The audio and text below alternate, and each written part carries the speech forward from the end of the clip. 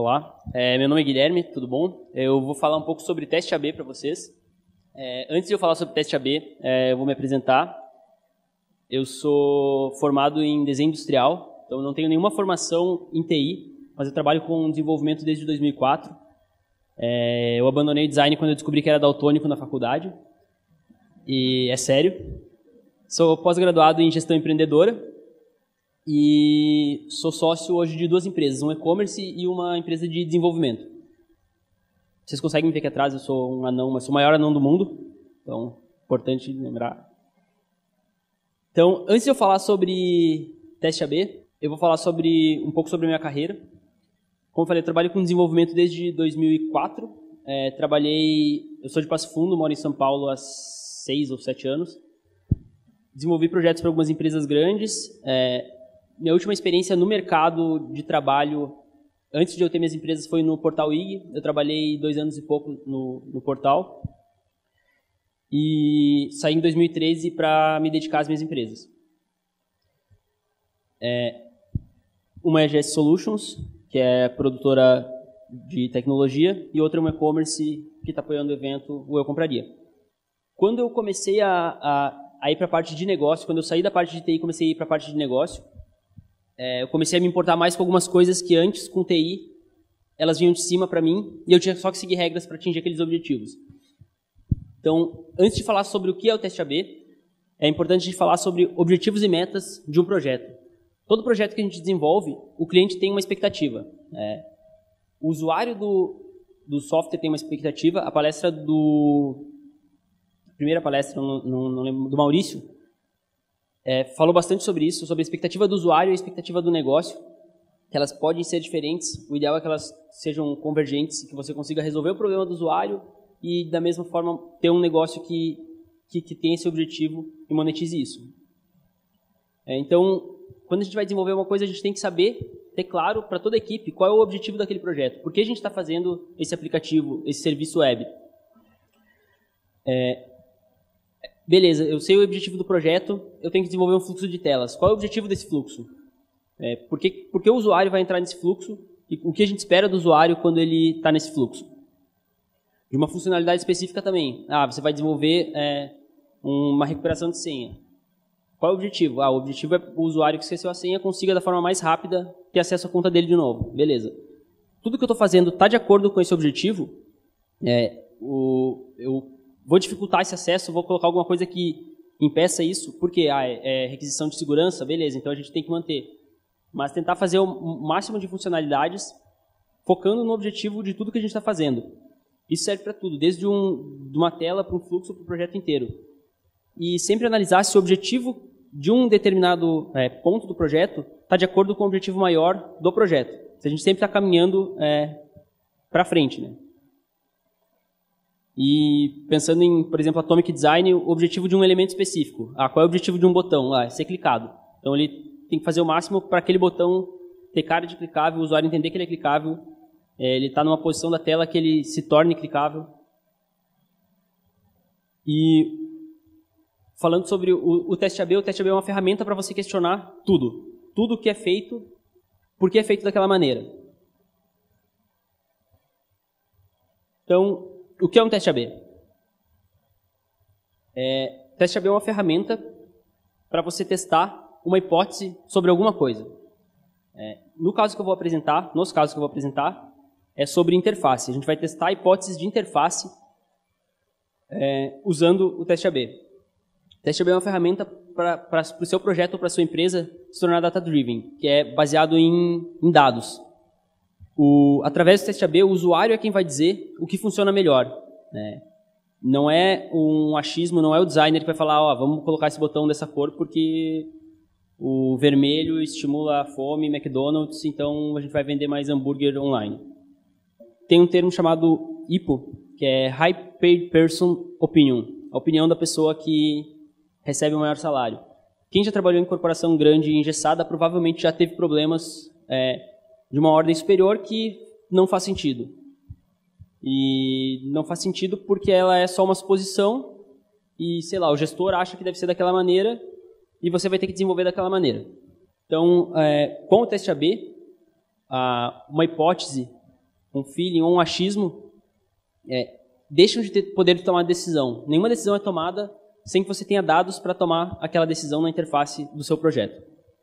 Então, o teste AB ele é basicamente é, pode ser explicado em três, três processos. Uma hipótese que ela define o que vai ser testado e qual vai ser o objetivo daquela hipótese. Todo teste AB ele tem que ter um objetivo muito claro. É, não adianta você testar sem saber exatamente por que você está testando. Ah, vou testar a cor do cabeçalho do meu site. Beleza, mas qual é o objetivo do cabeçalho do seu site? Você tem que saber exatamente o que importa para o fluxo, para a tela ou para o elemento que você está testando. Então, ah, a minha conversão de sucesso é clique. É, eu vou testar um e-mail, por exemplo. É o open rate ou é o clique no e-mail? É, conversão de, de, venda, de formulário, ou, ou um aprofundamento no funil de vendas, no funil de cadastro. O Medium, por exemplo, eles sempre informam um tempo de leitura. Uma das KPIs dele, das chaves de performance, é, de indicador de performance deles é tempo de leitura. Dependendo do tipo de, de projeto que você está, pode ser um dos indicadores. Então não existe indicador certo. É, cada, cada indústria, cada projeto tem um, um indicador que importa. É, isso é uma decisão de negócio, então é difícil isso vir, vir de TI, mas é bom a equipe de TI ter consciência do que importa para o projeto. Então a primeira etapa é ter uma hipótese e saber o, o que é o sucesso daquela hipótese que você te, vai testar. A segunda uh, etapa do teste AB é o flip coin. É entregar metade do metade ou não, entregar uma porcentagem do, dos meus usuários para a hipótese que eu estou testando e a metade do, e, e o restante dos usuários para a versão original. É, então essas duas é, essas duas entregas, a, a original e a, e a hipótese ou variante, elas vão ser entregues ao mesmo tempo, no mesmo período, para usuários diferentes. O, o Flipcoin também permite você definir o quanto vai ser testado. Você pode ter, por exemplo, ah, eu vou testar com 100% dos meus usuários, quero que todo mundo que, que entrar no, na minha página entre no teste AB. Ou se você tem, por exemplo, milhões de usuários, é um teste que, que pode impactar muito na empresa, você fala, vou testar só com 10% dos usuários. Desses 10%, eu vou dividir eles, metade vai é, receber a minha, a minha página normal, e metade vai receber a minha hipótese. Uma coisa importante do Flipcoin é você garantir que o usuário sempre receba a mesma versão, para não influenciar o teste. Imagina que eu entro numa página, é, tem um botão verde, é, eu saio da página, eu dou um refresh, aquele botão está vermelho. Beleza, o botão mudou de cor, ele me chamou a atenção, eu cliquei. Isso não faz parte do teste AB. Você está sujando seu teste AB porque o usuário viu uma mudança que ele não deveria ter visto. É, se o teste é, se o botão vermelho converte melhor, ele sempre tem que ver a mesma versão. Então as ferramentas têm que tomar cuidado para sempre entregar a mesma versão para o mesmo usuário. É, depois que você criou a hipótese, definiu o que é sucesso, é, arrumou uma ferramenta que fez o Flipcoin e distribuiu as versões para os usuários, a gente parte para a parte de análise de dados, que é deixar o teste rodando, coletar as informações. É, como analisar essas informações?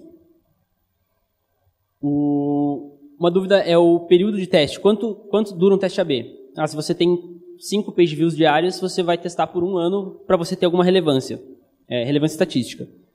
Então, é, significância estatística, é, em estatística tem um termo que chama valor P, que é o quanto, valor P é o quanto eu consigo atingir aquele objetivo, é, qual a porcentagem de chance de eu rodar aquele teste de novo e eu receber uma, uma um resultado igual ou mais extremo que aquele. Basicamente é o quanto esse teste é válido é, estatisticamente falando, ou o quanto aquilo ali é um resultado aleatório de um teste que eu rodei. É, então, o valor P ele faz parte de estatística. É, Para você fazer teste AB, você, é bom você ter algum conhecimento de estatística, mas tem um monte de ferramenta que fazem esse cálculo é, sozinho. Essa é da WBO, eu acho, WBO, VWO, desculpa ele você coloca as visitas que você tem na sua, na sua página original, as visitas que você tem na sua hipótese, qual o número de conversão da sua original e da sua hipótese. Esse número de conversão pode ser qualquer coisa que você está avaliando, por exemplo, ah, minutos de leitura, é, clique. Minutos de leitura não, porque tem que ser uma ação é, específica. Mas clique, é, é, é abertura de e-mail, sei lá, qualquer coisa que seja uma conversão, você coloca tanto para a original quanto para a hipótese e ele vai calcular o p-value, que é o terceiro campo. Sempre que ele for menor que 5%, estatisticamente você pode considerar aquele teste é, relevante. Então ali ele está com 0.04, eu acho. Isso. Ele é relevante, o teste teve significância é, estatística. Tem um link que vai ficar disponível também na palestra de uma planilha no Drive que faz esse cálculo para você simular. É legal, antes de você fazer o teste, você ter uma ideia de quantos usuários você precisa testar, baseado na conversão que você tem hoje. Então você consegue prever, ah, com cinco dias eu consigo ter é, uma relevância estatística para o que eu quero testar. É, tem uma série de ferramentas para isso. Isso é teste AB. É, você faz essa análise de dados e vê o que converteu melhor. Se a sua hipótese teve uma conversão é, maior do que a sua página original, do que a sua página atual, a hipótese se torna a página atual e você consegue um incremento na, na conversão do seu site. O teste AB é, é cíclico, então você terminou um teste, você melhorou a, a performance ou não. Se a, se a, sua variante não ganhou, você descarta ela, porque você já tem um, um, uma opção melhor. Volta para o início, começa tudo de novo. Pensa uma nova hipótese, é, faz o flipcoin, entrega isso de novo para o usuário uma parte importante é criar boas hipóteses. É, na palestra sobre a experiência do usuário, foi passado um monte de ferramentas e técnicas de pesquisa que eu acho bem importante que elas complementam o, o teste AB. Elas servem como insumo de ideias para você testar hipóteses. Uma das melhores fontes para você ter hipóteses são os seus usuários. É, fazer entrevista, fazer é, avaliação do usuário, fazer pesquisa.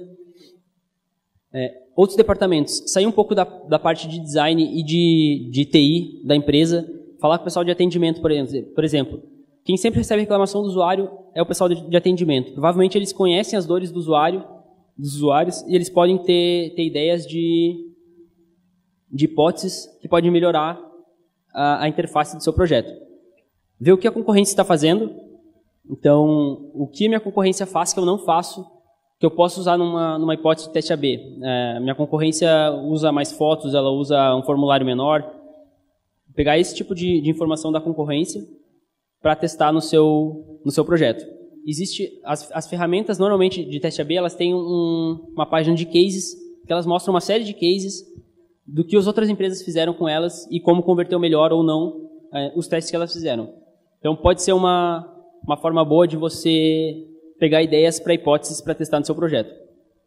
Uma das regras, regras entre aspas, do, do teste AB é você nunca, é você assumir, você ignorar tudo que você acha que você sabe sobre o seu usuário. É, tudo que você acha que sabe deve ser testado e validado através do teste AB. Isso vale para você se basear em outros experimentos. Não é porque a empresa é, A fez um, um, um teste AB que colocou uma borda no botão, ele se tornou mais parecido com um botão e aumentou a taxa de clique, que você simplesmente colocar uma borda vai aumentar a sua taxa de clique. Você tem que testar isso com seus usuários. Mas você pode tirar essa ideia e colocar um teste AB rodando na sua, na sua, no seu projeto é, para testar se isso também tem o mesmo resultado no seu projeto. Então, o que testar? A gente já viu como conseguir boas hipóteses, mas o que eu posso testar numa interface? Formulário normalmente são um ponto de resistência dos, dos usuários no projeto e normalmente são um ponto de conversão importante para projeto, para qualquer tipo de, de projeto, cadastro. Então, em formulário, você pode testar o número de campos, é, roda uma versão, roda sua versão normal, roda um, um, uma hipótese reduzindo campos, campos do formulário. Eu preciso realmente pedir o telefone, vamos ver se sem o telefone é, eu consigo aumentar minha conversão. É, o layout do formulário, então testar a parte visual do box que, que envolve o formulário, testar campos obrigatórios. Às vezes, o simples fato de um campo ser obrigatório, ele, ele é uma barreira para alguns usuários que não querem fornecer aquele tipo de informação. A posição do formulário na página e texto. O texto descritivo do formulário também é, é importante para teste. É, tem, tem um, case legal que é de política de privacidade. Normalmente a gente bota a política de privacidade no, no rodapé e não dá bola. É, deixa lá só para dizer que tem. Mas para alguns usuários é bem importante antes deles te passarem qualquer informação, eles saberem qual é a política de privacidade. Então, é, eu li um case de uma empresa que colocou a política de privacidade acima do formulário, falando que os dados não seriam vendidos, divulgados, e isso teve um efeito positivo no cadastro daquele formulário específico. É, então, dividir, quebrar o formulário também pode ser um teste interessante. Você tem um formulário de 15 campos, quebra ele em, em três formulários menores, é, de cinco campos, que talvez a conversão é, aumente. É uma coisa que vale a pena testar. E, é claro, o call to action, o botão de submit, que é o objetivo final do, do seu formulário. Conteúdo também pode ser testado.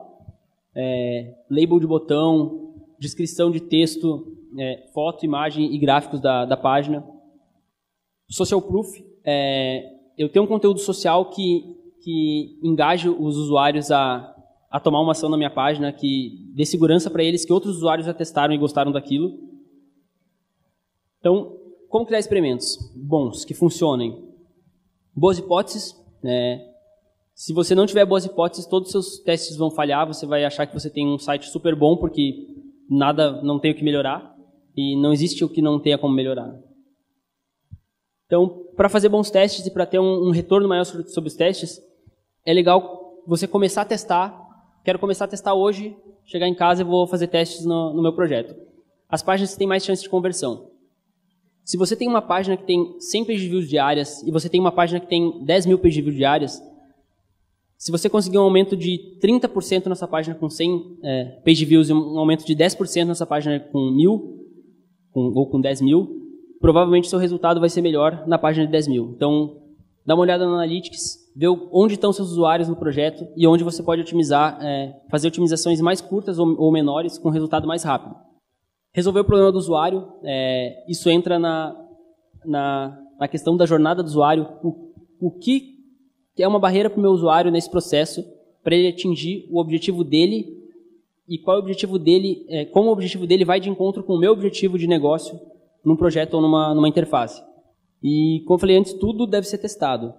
É, quando você testa qualquer alteração que você faz numa página, não existe como você regredir a conversão do seu site. Seu site nunca vai, por motivos de interface, é, de alteração, de mudança, ele vai ter uma conversão menor do que você tinha antes. Então você só caminha é, só para frente, você só, só melhora o seu projeto. Tem alguns problemas, é, problemas não, alguns alertas que, que a gente tem que tomar cuidado quando a gente fala sobre teste AB. O primeiro deles é a questão de relevância estatística. É, essa é um, um, post sobre uma crítica ao, ao, teste AB. Então, semana passada eu joguei uma moeda 100 vezes, deu 99 caras. Aí eu vesti uma camiseta vermelha, joguei a mesma moeda 100 vezes, deu 51 caras. É, eu concluí que se eu vestir uma camiseta vermelha, aumento 4,1% a minha chance de jogar caras. Então a gente tem que tomar cuidado com a relevância estatística. Sempre é, testar o suficiente para que eu tenha uma certeza, é, uma porcentagem de certeza. Você nunca vai ter 100% de certeza que aquela alteração aumentou X%. Mas você pode chegar a 98, 97, 90% de certeza de que a alteração que você fez realmente foi responsável por um aumento de performance é, ou de, de conversão. O segundo alerta é que teste AB não é uma verdade absoluta. Não existe bala de prata para nenhuma tecnologia, tudo é um, um trade-off. Você melhora uma coisa, mas você está abrindo mão de outra. É, o teste AB ele não responde todas as perguntas. A Booking.com é um case é, gigantesco de empresa é, baseada em, dados, dirigida a dados. Todas as decisões deles são, são testadas com dados. Eles fazem teste AB há mais de 10 anos. E esse, essa citação de um, do, do blog deles é bem legal ah, eles usam o teste AB para validar as hipóteses que eles têm, mas eles usam uma série de ferramentas de pesquisa com usuários para chegar nas hipóteses que vão ser testadas com o teste AB. Então não adianta você só ficar tendo ideia interna de hipótese, jogando um monte de hipóteses lá testando. Talvez você esteja gastando uma energia muito grande para ter um retorno menor. Talvez se você só conversar com o usuário ou você observar um usuário usando sua interface, fazer um protótipo de papel para o seu usuário testar, você consiga insights muito melhores para hipóteses que devem ser testados. Não é porque você fez um teste de usabilidade e o seu usuário achou um problema é, para aquele usuário que você vai implementar aquilo. Você tira aquilo como ideia, joga num teste AB e vê se os milhares de usuários também têm aquele problema. É, então, não usem somente o teste AB. O teste AB é uma ferramenta, entre outras tantas, de, de mensuração e de pesquisa com o usuário. O terceiro aviso é sobre as boas hipóteses. Se você só joga lixo, você só vai receber lixo. Então, é, tem que ter é, hipóteses boas para você testar. Como eu falei, faz, faz pesquisa com o usuário, escuta o seu usuário, é, se coloca na, na visão do usuário, na pele do usuário, para fazer um teste. O quarto problema de teste AB, hoje a maioria das ferramentas de teste AB, elas trabalham com front-end. É, é, mais simples de implementar, você ganha um monte de, de agilidade é, para implementar os testes, só que você tem um script a mais que vai estar tá, é, fazendo uma alteração na página client-side, isso pode ter algum impacto na... Pode ter não, isso tem impacto na performance do seu site. É, para a Amazon, esse dado é um pouco antigo já, mas ela fez um teste que 100 milissegundos de latência, no caso da Amazon, custava 1% em vendas. Ela vende milhões de dólares todo, todos os meses, então esse 1% ele é bem é, significativo para eles. O Google também fez um, um, experimento, esse foi um teste AB que o Google fez, sobre o número de resultados que eles exibem no, na, no resultado de busca. É, eles adicionaram... Não, desculpa, não é esse eles testaram a questão da performance. Para eles, 500 milissegundos, meio segundo a mais de latência, significa 20% de queda de, de busca. É 20% menos AdSense para eles. Então, você tem que testar o impacto da performance da ferramenta que você escolher sobre a, o seu projeto. É, tem um, um, estudo bem interessante sobre, sobre a, a, várias ferramentas e o impacto que elas têm na performance do, das páginas. Esse caso, uma, uma, o site tinha um, um page speed de 99,100. Eles implementaram uma ferramenta de teste AB e eles caíram para 87 pontos no page speed. É, aqui é uma lista de ferramentas e o quanto elas impactaram é, no carregamento da página. Testaram o projeto sem a ferramenta, testaram com e o aumento de, da latência na, na página. Então, tem a, a última, que é a VWO, 4 segundos a mais de carregamento na página é muito tempo. Talvez a sua página não tenha nem 4 segundos de carregamento. Idealmente, ela não deve ter 4 segundos de carregamento. Você vai fazer uma coisa para melhorar a, a, conversão e você acaba prejudicando o usuário e diminuindo sua conversão geral. É, lembrando que você não vai perceber isso se você não, não cuidar para essa latência. Se eu, se, eu, se eu simplesmente implemento isso e vou testar, eu estou testando com os dois usuários que eles estão com esses 4%. Então, quando eu testo a minha hipótese e a minha página normal, os dois usuários estão tendo essa latência a mais, e eu falo, ah, beleza, o meu teste, é, minha hipótese aumentou em 5%. Só que enquanto eu estou rodando o teste, eu perdi 20% nos dois, do que eu tinha antes, por causa dessa latência. Então a gente tem que tomar cuidado e comparar, por exemplo, a conversão sem o teste com o teste, para você ter uma ideia se isso não está te prejudicando muito. É, nesses casos, por exemplo, você pode definir que só é, 3% dos usuários vão receber o teste para você eliminar 97% dos seus usuários não recebem essa, esse script de teste, eles não vão, não vão ter acesso ao teste, por exemplo. Então você não, não prejudica a performance de, de, toda, de todo o seu, seu projeto. É, o, o, quinto aviso é sobre paralisia da análise. Paralisia da análise é quando você tem tanta informação, ou quer tanta informação, que você não toma nenhuma decisão porque você quer mais informações. Por exemplo, você decide que você quer começar a fazer academia, que é o trapézio descendente, e você pesquisa as academias que tem perto da sua casa. Você encontra três academias, você começa a pesquisar sobre, sobre musculação fala, ah, tem que seguir uma dieta ideal. Você pesquisa sobre nutricionista, começa a pesquisar sobre dieta, já passou duas semanas, você não treinou, você descobriu que tem que fazer uma alimentação saudável, mas você descobre que tem que tomar suplemento, senão você não vai conseguir o trapézio descendente. Aí você começa a pesquisar sobre suplemento. Passou dois meses e você não fez nada. Você poderia ter tomado uma decisão lá atrás, quando você viu três academias. Você fala, ah, beleza, eu vou treinar nessa porque eu gostei. E depois você coleta mais dados que são importantes. É, essa frase de Seth Godin diz para a gente não coletar nenhum dado que ele não vai melhorar a sua tomada de decisão. Se alguma coisa não vai mudar a sua tomada de decisão, não vai mudar a sua atitude, ou não vai te dar informação útil para você mudar uma, uma tomada de decisão, você não deve nem olhar para esses dados. Você não deve gerar barulho nas informações importantes que você tem. Então, mantenha calma e otimize. Eu trouxe alguns exemplos para a gente analisar de teste AB. O primeiro é um checkout de um e-commerce. É, a hipótese desse, desse teste é que eu colocar informações na página de checkout, como é, código de promoção e código de presente, estava tirando a atenção do usuário do objetivo principal do site, que era o usuário realizar o checkout. Então, é, essa era a página de controle, a versão original. Tem dois campos aqui, um era de promoção e o outro de gift code. A hipótese deles era, removendo esses campos, eu consigo aumentar minha conversão porque o usuário não vai sair do meu site, não vai ir buscar é, promo code, vai direto para o checkout, que é o, que é o objetivo dele. E o meu. É, nesse caso, a receita é, total do site aumentou em 24% com a hipótese, e a receita por usuário aumentou em 17%. É, nesse mesmo caso, depois, é, se, se, você fizer uma busca no, no Google pelo nome da empresa e promo code, ele já dá um autocompletar. Então, o que acontece? Os usuários estavam saindo da página de checkout, indo para o Google procurar é, código de promoção antes deles realizar, realizarem o checkout. Talvez se eles não achassem, eles, eles falam, ah, não vou, eu estou perdendo uma oportunidade de ter desconto, então eu vou esperar até eu achar um promo code. É, tem um exemplo de um site brasileiro, chama Casa Mineira. É um site imobiliário. Eles tinham uma busca textual, que era um campo grandão, e a hipótese era que se eles dessem mais informação para o usuário no momento da busca, é, sobre o que ele está buscando, eles iam conseguir uma conversão maior. Então eles trocaram o campo textual por um select, que tinha algumas informações do, do tipo de, de imóvel que eles podem procurar, que o usuário poderia procurar. É, com essa alteração, eles conseguiram 57%, mais, 57 a mais de leads nessa busca.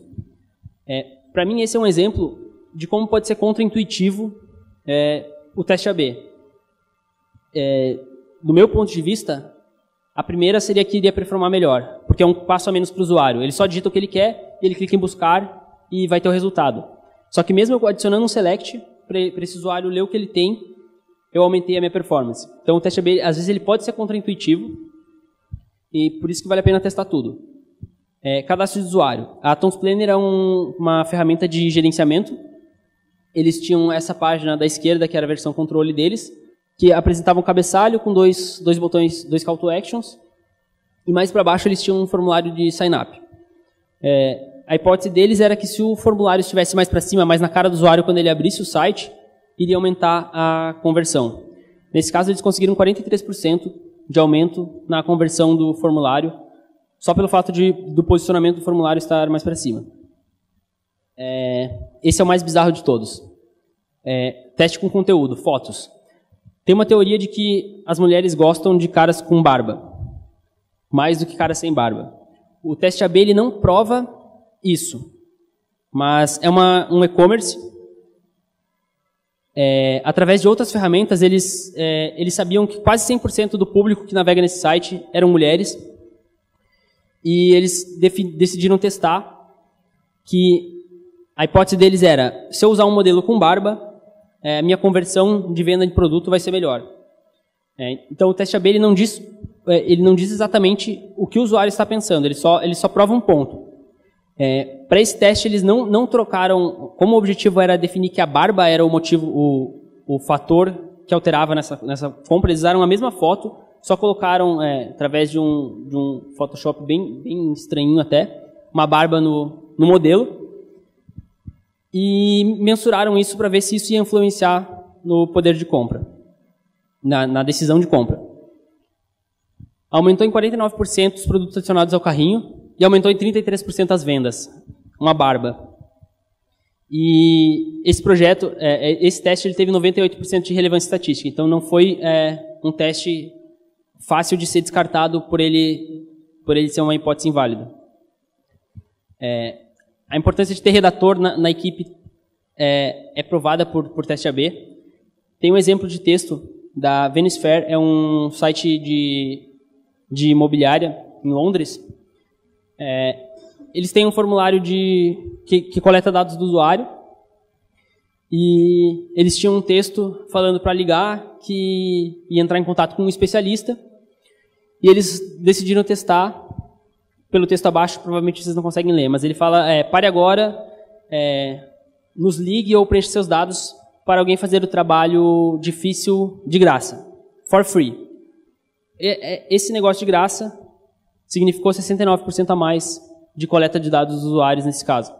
Só com texto. É, você pode testar a interação também, com, com o teste AB, mensurar a, a interação. É, no Eu Compraria a gente é, realizou faz um tempo e eu reativei esse teste recentemente. A gente tem listagem de produtos no site, no e-commerce, e é para o Ícaro.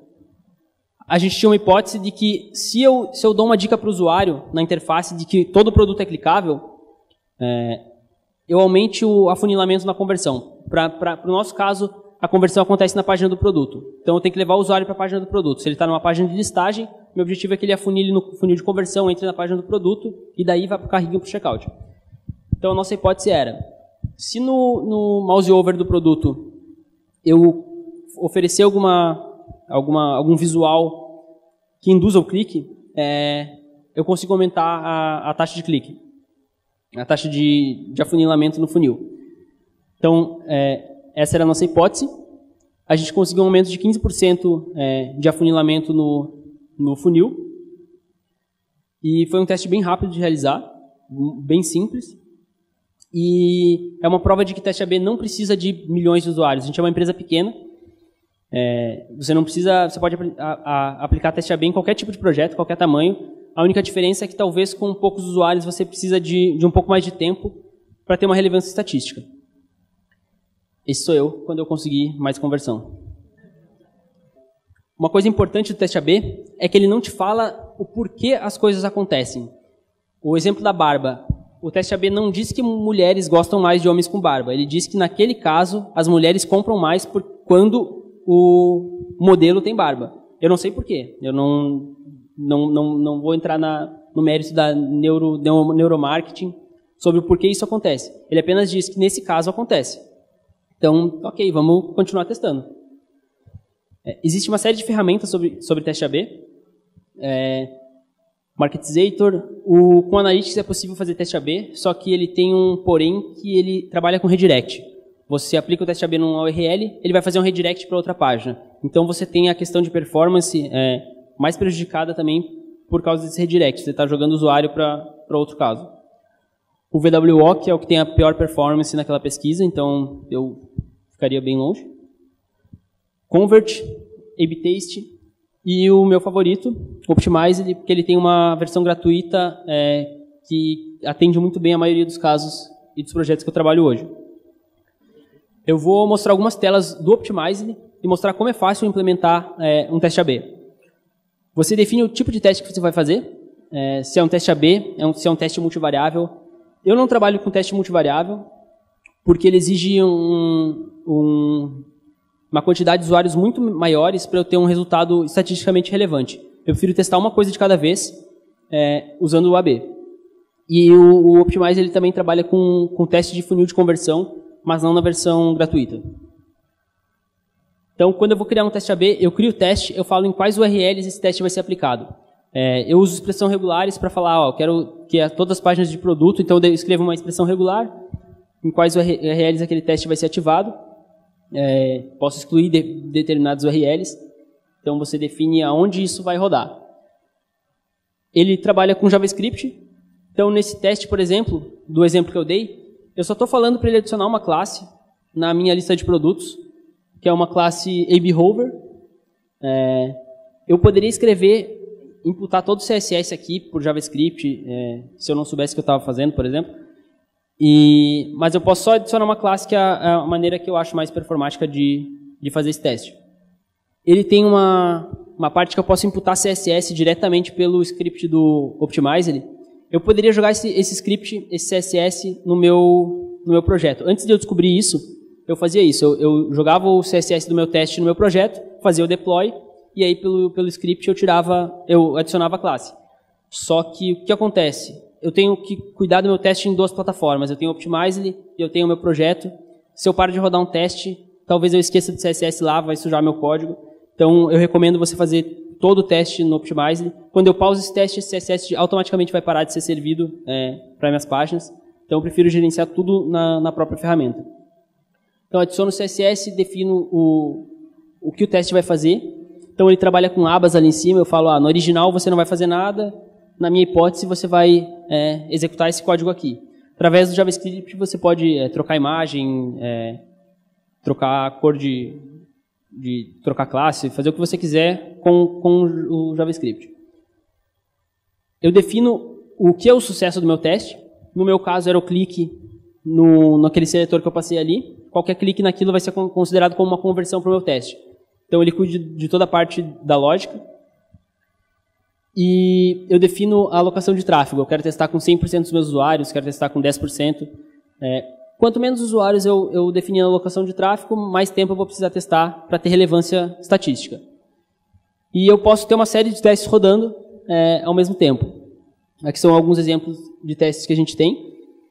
É, então você pode é, definir testes para páginas diferentes para a mesma página, que ele vai cuidar de, de alocar os usuários para cada um dos testes. É isso. É, muito obrigado. Se alguém tiver dúvidas, o momento é agora. Ô Guilherme, pode falar alguma coisa sobre teste AB no back-end e se tu tem alguma experiência com isso, se tem alguma ferramenta e tal, quando tu quer tipo alterar, entregar uma estrutura diferente ao invés de alterar em tempo de execução ali JavaScript, CSS.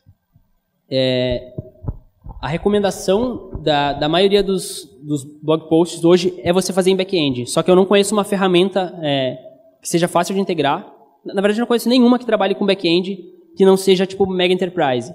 As empresas, é, por exemplo, Booking, eu sei que eles trabalham com back-end, só que eles têm ferramentas próprias, eles têm cientistas de dados fazendo a parte estatística.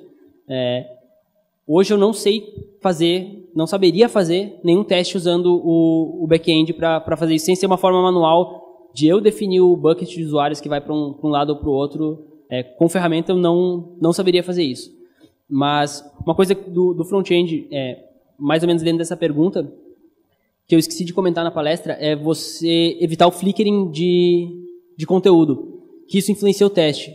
Por exemplo, é, eu tenho um botão vermelho e no meu a minha variante, a minha hipótese é o botão verde. Aí o usuário carrega a variante, o botão está vermelho, ele muda para verde. Ah, aumentou em 70%. Só que aumentou em 70% porque o usuário teve, viu essa mudança. Então você está falsificando o teste. Mas na sua pergunta, cara, não, não sei. Recomendo você fazer back-end, mas se vira aí. Tem, uh, a gente implementou uma solução, existe uma ferramenta de código aberto que o Facebook usa, é o Planout. Uh, eu, eu trabalho part-time em uma, em uma empresa americana, é, um, é uma ferramenta de busca de empregos. Uh, são, são muitos requests por segundo, então a gente implementou uma solução de, é, de log de comportamento de usuário primeiro, com, com Kafkas ou Keeper, coleção de dados, né? É, jogando isso para Hadoop. E junto com isso aí a gente coletou com, com o Plenout as variações. Né? O Plenout ele faz, eu acho essa parte que ele falou do, do Optimizely que faz, é, tu consegue fazer vários testes ao mesmo tempo, né? Então tem, é, eles, eles chamam isso de é, é, isonomicidade da, da, da, da, divisão dos grupos, né? Ele, ele divide os grupos, uh, mantém uma isonomia da aleatoriedade, né? Para um teste não interferir no outro. É bem bom, funciona bem, assim. Uh, então, nos testes o cliente geralmente não sabe que está tá participando de um teste, por exemplo. Eu poderia ter participado de um teste e não saber disso? com certeza você está participando de vários testes se você não sabe. É, o Google faz isso direto, o Facebook faz isso direto. É, o Facebook é, é, bem legal porque às vezes eu, eu posto alguma coisa no Facebook, algum print de alguma coisa nova, e várias pessoas postam, ah, o meu não está assim. É, então o usuário não sabe, o ideal é que o usuário não saiba.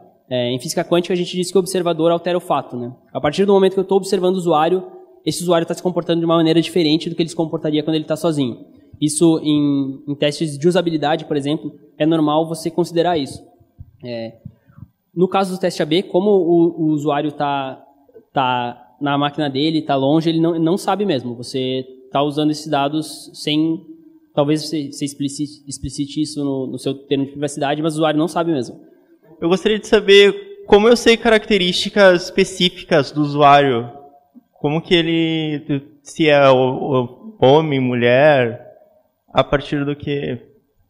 É, o teste AB ele não vai te dizer isso, é, mas tem, tem ferramentas de pesquisa. É, provavelmente você teria que fazer pesquisa de marketing. É, não é minha área, não, não sei te responder exatamente qual seria a ferramenta ideal. Eu sei que tem algumas ferramentas como Analytics que eles te dão algum tipo de informação sobre isso. O Facebook, por exemplo, você consegue através da fanpage você extrair esse tipo de informação de uma fanpage. É, eu não sei se através do Track Pixel do Facebook eu consigo extrair esses dados de uma página. Eu nunca dei uma olhada nisso. Mas eu não sei te dar uma ferramenta específica que, que você pegue essa, essa informação. Pelo Analytics, talvez você consiga alguma coisa é, mais ou menos é, nesse sentido, de saber localização, eu sei que você extrai, mas eu não sei se você extrai dados de gênero, idade pelo Analytics. Não, não sei nenhuma ferramenta boa para isso. Tá, obrigado.